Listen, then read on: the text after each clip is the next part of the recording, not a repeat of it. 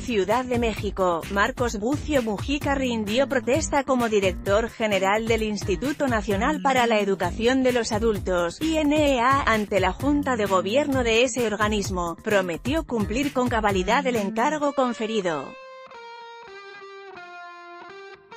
El evento fue encabezado por Gilberto Guevara Niebla, subsecretario de Educación Básica de la SEP. También asistieron Carlos Noriega Arias, representante del Consejo Coordinador Empresarial CCE, y de la Confederación Nacional de Cámaras Industriales, CONCAMIN, quien es miembro de la Junta de Gobierno del INEA, y el director del Instituto de los Mexicanos en el Exterior, IME, Juan Carlos Mendoza Sánchez.